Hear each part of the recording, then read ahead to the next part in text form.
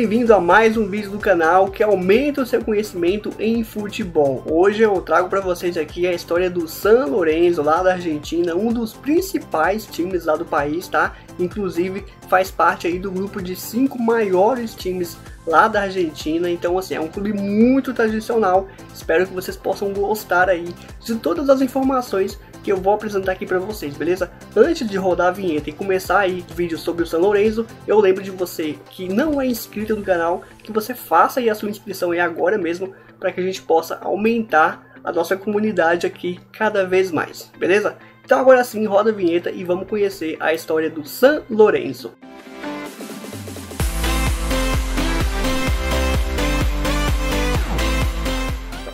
Nome oficial Clube Atlético San Lorenzo de Almagro, fundado em 1908. Alguns apelidos: El Ciclón, Cuervos, Los Matadores, Azulgrana. O mascote do time é o Corvo, tá? Aqui eu coloquei em espanhol, Cuervo. A cidade sede é Buenos Aires, capital da província de Buenos Aires, a principal cidade lá da Argentina. A ideia de criar o time partiu de um grupo de jovens que foram incentivados pelo padre Lorenzo Massa. Depois de ele ter visto um garoto quase ser atropelado enquanto jogava bola na rua, ele ofereceu o jardim da igreja para que a molecada do bairro de Almagro pudessem se divertir. Um tempo depois, precisamente no dia 1 de abril de 1908, esses garotos decidiram criar um clube. Na reunião que marcou a fundação, eles escolheram homenagear o Padre Lorenzo. Algumas teorias indicam que a escolha por esse nome também faz referência ao santo São Lourenço, um importante religioso espanhol. E outra versão diz que esse nome tem relação com a Batalha de São Lourenço, ocorrida em 1813 na Argentina. Bom, o fato é que a definição pelo nome São Lourenço foi concretizada e, claro, eles acrescentaram também o nome do bairro que marcou o início da história deles. A primeira partida do clube só foi acontecer em 1914, mas não tem nenhum registro do adversário e nem do placar do jogo. Por terem vencido um torneio regional nesse mesmo ano,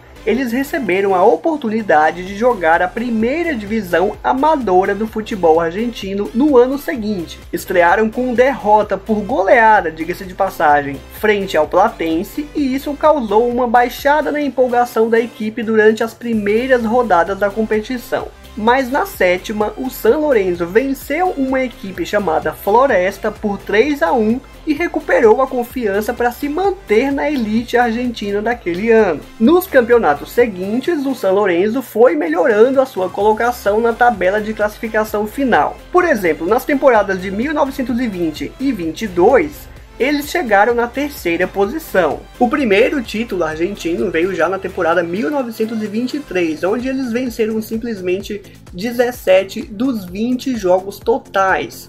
Ou seja, em tão pouco tempo o crescimento deles foi impressionante.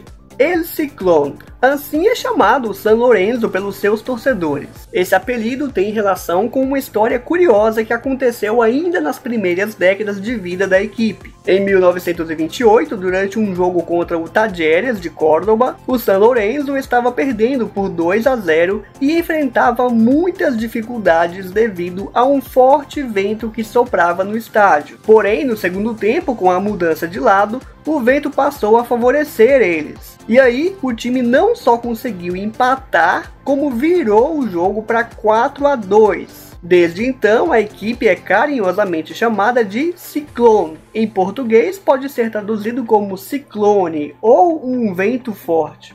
Podemos dizer que os anos dourados do time foram no período de 1968 até 74. Durante esse intervalo de tempo, eles ganharam quatro títulos nacionais argentinos e ficaram conhecidos por jogar de forma muito ofensiva, fazendo muitos gols, tanto é que receberam um outro apelido, Los Matadores. Isso porque os jornalistas diziam que eles saíam para matar os rivais em campo. Infelizmente, eles não conseguiram aproveitar essa boa fase para ganhar um título de Copa Libertadores da América naquele período. Apesar de ficar marcado como o primeiro representante argentino a jogar a Liberta lá em 1960, eles só foram conquistar o torneio mais importante do continente sul-americano em 2014. Naquela que pode ser considerada a edição de Libertadores mais surpreendente de todos os tempos, o San Lorenzo chegou a terminar a fase de grupos na segunda colocação, depois de ter vencido o Botafogo na última rodada. Nas oitavas de final, eles enfrentaram e eliminaram o Grêmio, 4 a 2 nos pênaltis. Nas quartas, mais um time brasileiro pela frente, dessa vez o Cruzeiro, 1 a 1 em Belo Horizonte e 1 a 0 para o San Lorenzo em Buenos Aires. Chegava então às semifinais e pela frente para surpresa de muita gente, veio um adversário boliviano. No primeiro jogo em casa, uma sonora goleada por 5 a 0. E na Bolívia, com altitude, derrota por 1 a 0. E aí o clube chegou então pela primeira vez na história a uma final de Copa Libertadores. O adversário? Nacional, mas não é aquele nacional do Uruguai, três vezes campeão da Liberta não, viu? Foi o Nacional do Paraguai. Para vocês verem que essa edição foi maluca, os finalistas da Libertadores de 2014 eram considerados times azarões no início, porque havia grandes times disputando o torneio com elencos de mais qualidade. Daí, nos dois jogos da final, empate no Paraguai e vitória do San Lorenzo na Argentina. Um título inédito que deixou a fanática torcida do San Lorenzo enlouquecida e muito orgulhosa.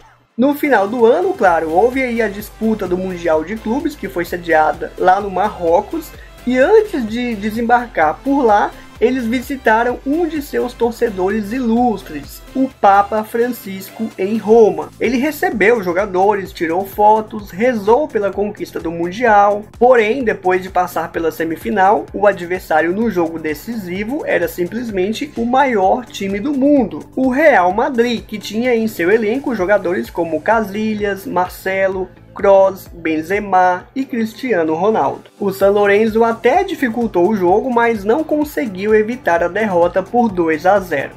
As cores que foram escolhidas para representar o clube desde o início foram o azul e o vermelho. E assim, não tem uma versão oficial para explicar o motivo pelo qual os fundadores decidiram escolher essas cores, tá? A teoria mais aceita diz que essas cores foram escolhidas em homenagem ao padre Lorenzo Massa, porque o azul e o vermelho seriam as cores do manto litúrgico usado pelo religioso. Já o emblema atual do time, vocês estão vendo aí, ó, é bem minimalista, digamos assim. Ele apresenta um formato em que as cores principais do clube aparecem verticalmente, lado a lado. Como eu disse, né, essas cores fazem referência aí, pelo menos a teoria mais aceita indica que tem relação com o padre Lorenzo Massa e no centro um círculo branco com as iniciais do nome oficial da equipe.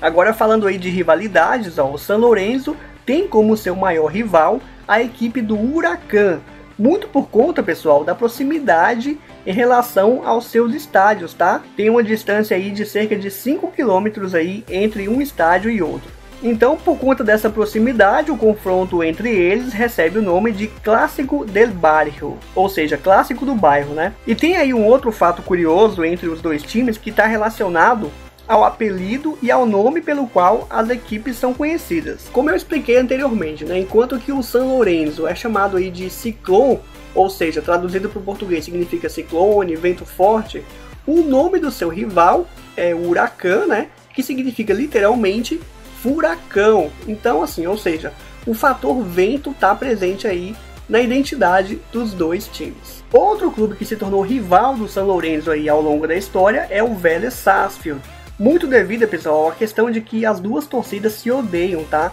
Os jogos entre eles são bem intensos e sempre dá trabalho para a polícia, tem muita briga e às vezes até morte é, em dias de jogos aí envolvendo os dois times. O San Lorenzo também rivaliza, claro, né, com todos os outros times considerados grandes lá da Argentina. Esse grupo aí, pessoal, basicamente tem o San Lorenzo, né, o Racing de Avejaneda, o Independiente, o Boca Juniors e o River Plate. Então, para representar aí esses quatro times, eu coloquei aqui o River Plate, beleza? O estádio em que o San Lorenzo manda os seus jogos é chamado de Pedro Bidegain, ou popularmente, né, como Nuevo Gasômetro.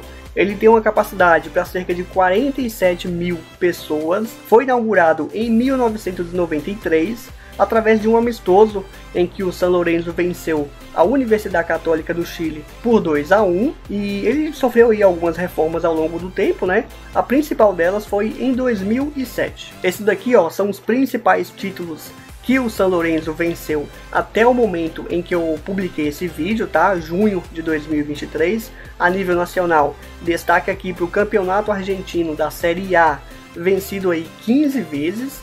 Aí tem também a Copa da Argentina, Supercopa e o Campeonato Argentino da Série B, vencido aí uma vez cada. E a nível internacional, claro, destaque maior aqui é para Libertadores da América, né, o maior título do clube, vencido lá em 2014, mas tem também a Copa Sul-Americana e a Copa Mercosul, essa última já não existe mais, né?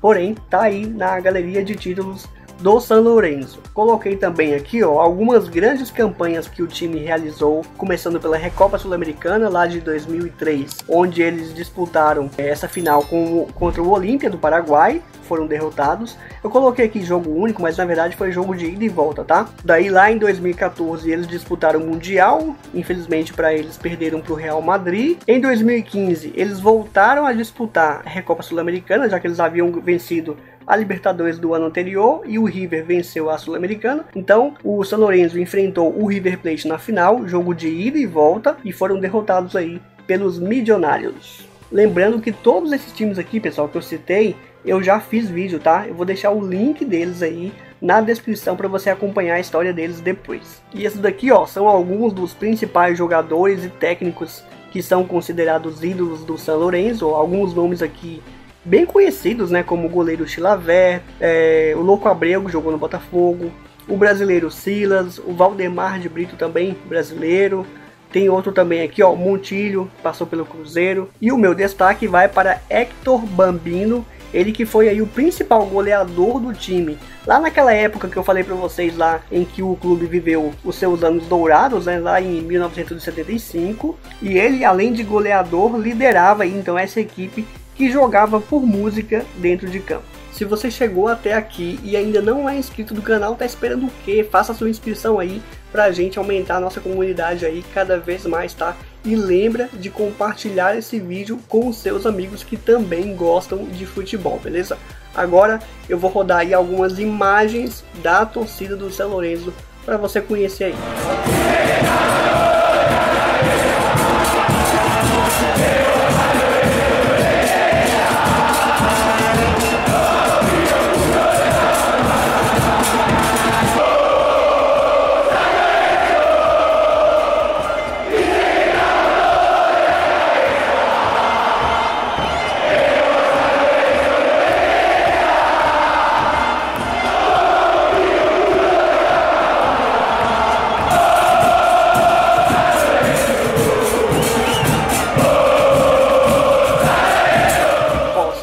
Quiser sugerir aí outro time aqui do continente latino-americano para eu gravar, tá?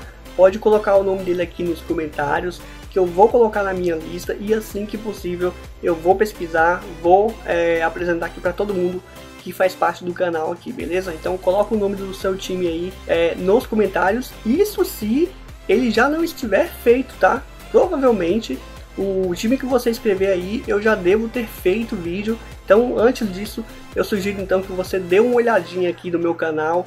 Procure se o seu time já não está é, com o vídeo feito, né? Se não tiver, coloca aqui nos comentários que eu vou fazer assim que possível, beleza? Então é isso, pessoal. Sem mais delongas, espero que vocês tenham gostado. Se inscreva no canal caso você não seja inscrito.